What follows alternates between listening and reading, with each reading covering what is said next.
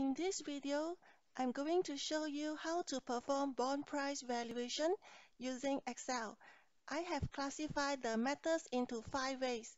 At the end of this learning session, I hope you will be able to put these tools to practice and apply the basic valuation models to bond.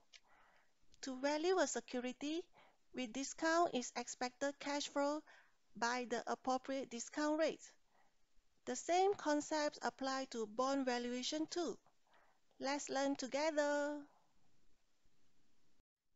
A bond is a security that is issued in connection with a borrowing arrangement.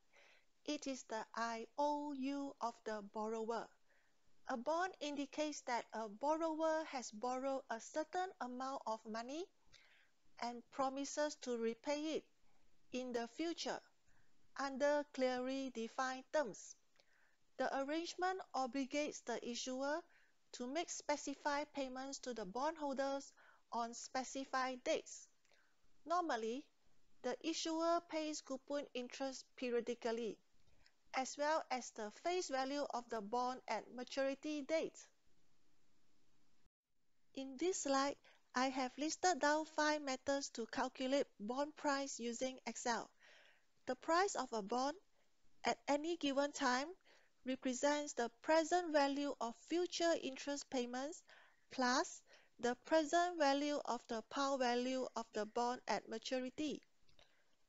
There are three key inputs to the valuation process cash flow, timing, and discount rate. If you like to model using formula, you can refer to this set of formula listed here. To value a security, we discount its expected cash flow by the appropriate discount rate. The cash flow from a bond consists of coupon payments until the maturity date plus the final payment of par value. Therefore, bond value is equals to the present value of coupons plus the present value of par value. Excel has a built-in function to calculate bond price. The formula is highlighted in red. The formula is equal price, P-R-I-C-E. The terms listed below are defined in Excel software. The procedure used to value bonds paying interest semi-annually is different from annual coupon bond. It involves three adjustments. First, we have to convert annual interest rate R to semi-annual interest. We divide R by 2. Second, there is a need to convert the number of years to the number of half-yearly periods. We multiply T by 2. The third adjustment is converting the annual discount rate to a semi-annual rate by dividing R by 2.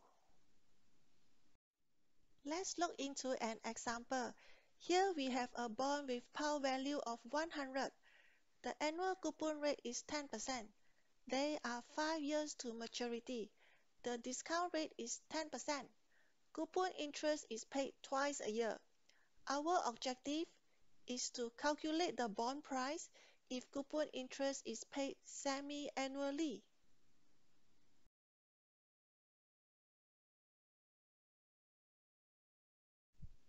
Let me show you how to calculate bond price using method 1, the present value method.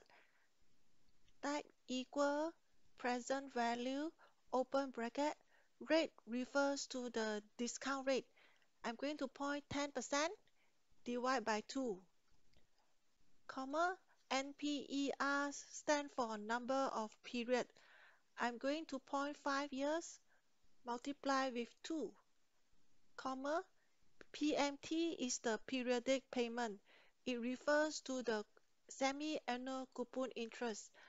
I'm going to point 100 par value multiply with 10% divide by 2 comma future value refers to the par value let's point 100 comma type 0 for ordinary annuity.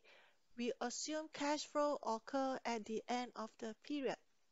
Before I type enter for the answer, I'm going to put a negative sign here.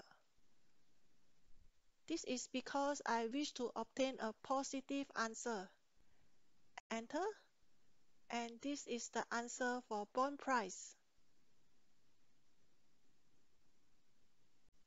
Now I'm going to show you the second method, the NPV method. The coupon interest rate is 5 and the maturity value is 100. The last cash flow on the maturity date is 100 plus 5, which is 105. I'm going to type equal NPV open bracket, point the discount rate divide by 2 to adjust for semi-annual compounding, comma, then highlight the cash flow from the first period until the 10th period. Close bracket, enter, and you have the bond price of 100. The answer for method 1 and method 2 are the same. Next, I will show you the third method, the discounting technique. Here, I'm going to discount the future cash flow one by one. I shall type equal, point the cash flow, divide by, open bracket, 1 plus discount rate, divide by 2, close bracket, power of the period. I'm going to fix the reference cell for discount rate. I type F4 as well as divide by 2. Alright, enter. Let me reduce the number of decimal place.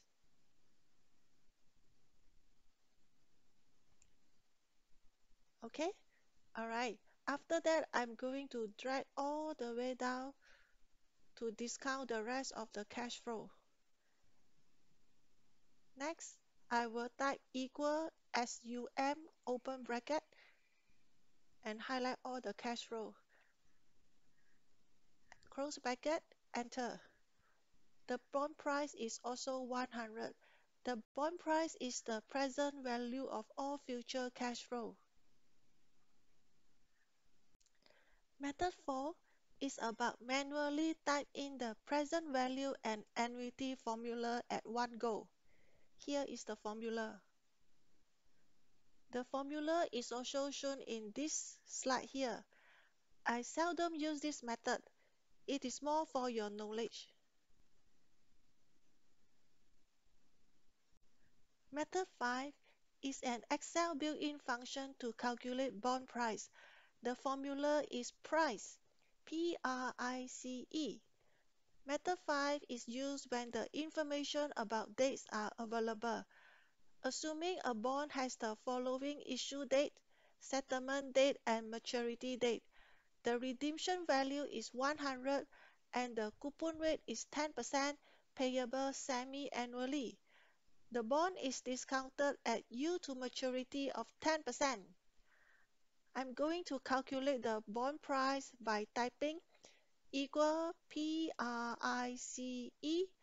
open bracket point the settlement date comma point the maturity date comma point the coupon interest rate comma point the yield 10% comma point the redemption value of 100 comma point the uh, frequency which is uh, two times a year semi-annual coupon payment comma point the basis here I assume the basis is zero.